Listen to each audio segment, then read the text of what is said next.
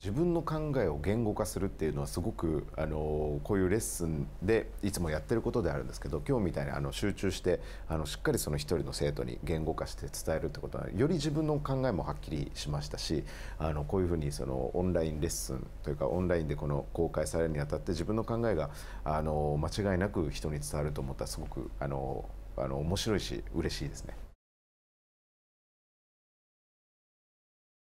F 間っていうのはえーと、長さをね、あのー、考えると4メートル弱ある。で、えーと、この4メートル弱あるっていうのはその我々このホルンを構えるともうこれぐらいで済んじゃうわけねだからもうここら辺にふって吹けばいいのかなって思っちゃうんだけど実際やっぱり4メートル向こ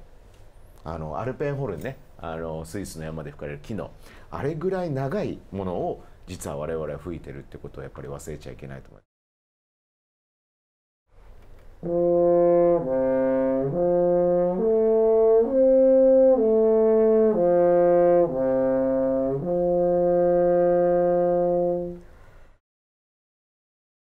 礎練習とウォーミングアップって僕はそのウォーミングアップと基礎練習っていうのはもう